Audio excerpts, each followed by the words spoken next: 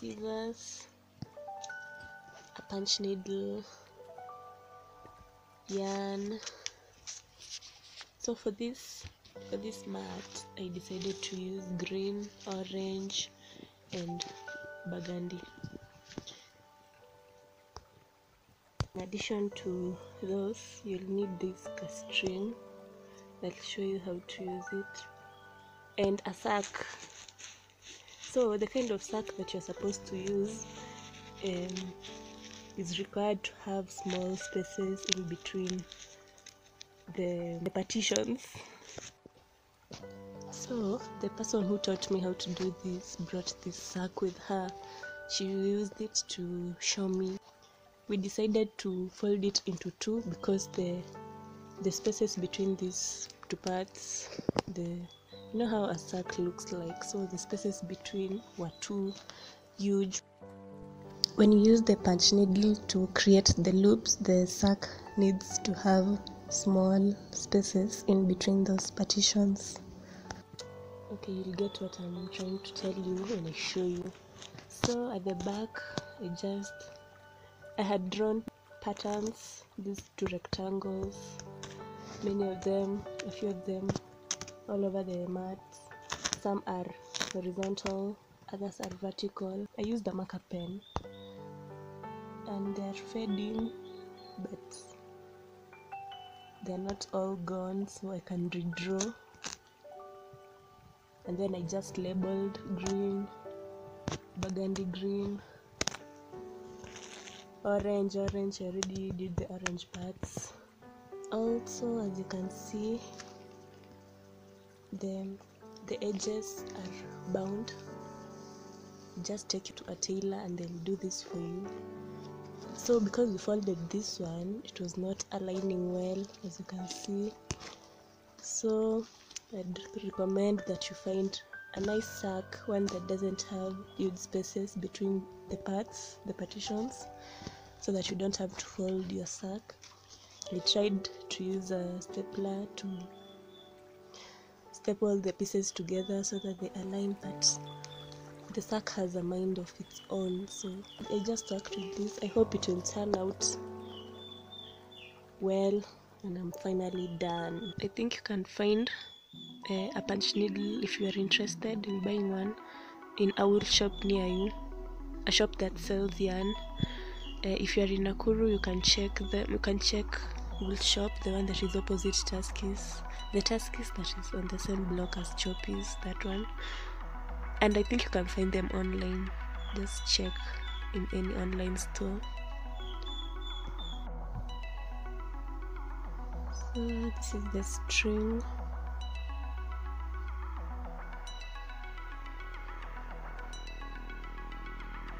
This is the eye of the needle.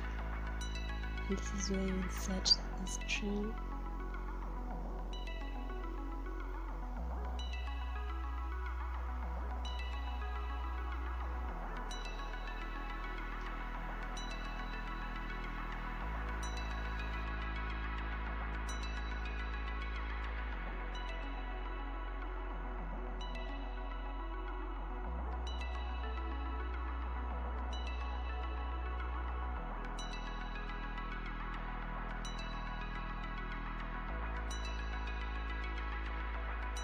and then you pull.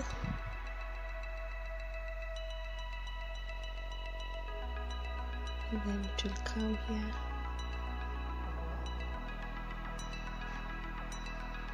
Oh nope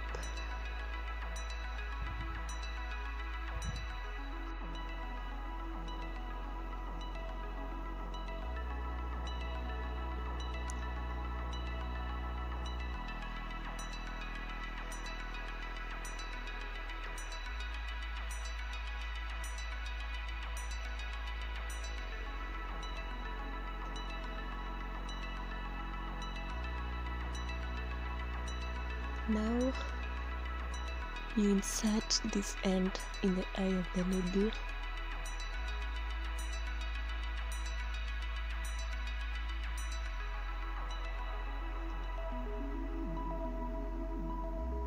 like that.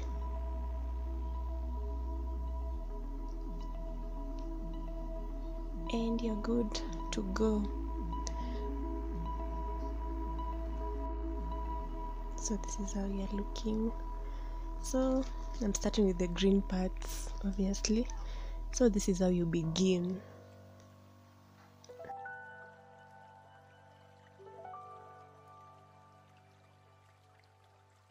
At the beginning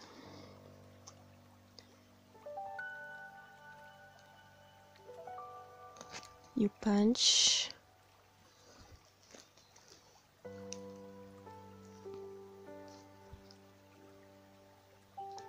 you hold it. Then you punch another one and you hold it. Then you tie these two together. This is at the beginning so that you secure your your yarn. Ouch. Also be careful. This thing is really sharp. As you can see it has left me with bruises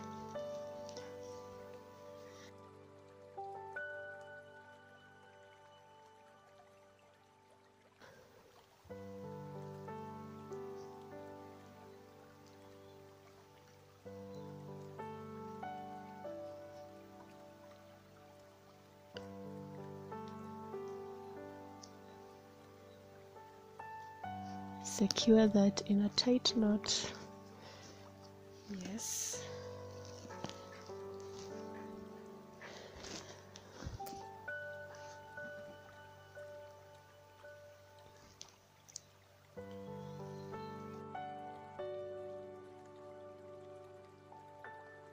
You can cut off this extra part but to to avoid wastage can ensure that you leave out a small piece of yarn and like me here. Okay now the rest is as simple as abc abcd you just punch and remove it not fully until the punch remove punch remove not all the way out.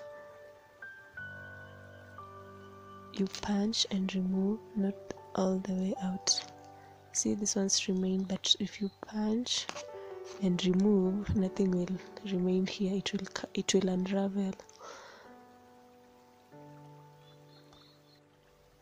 Okay so to be uniform you can do you can decide to punch going vertically or horizontally and i prefer horizontally so i'm going to come back down punching and then i go my way because i hate change.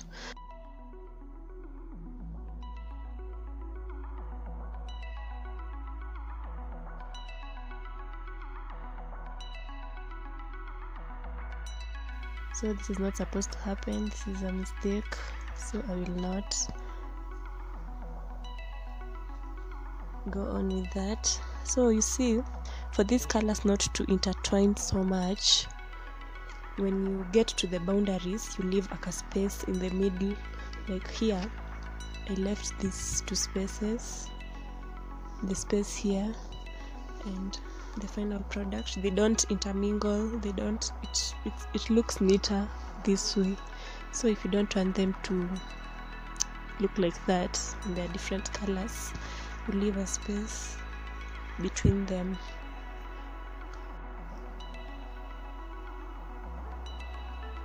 So when i get to this end i just go back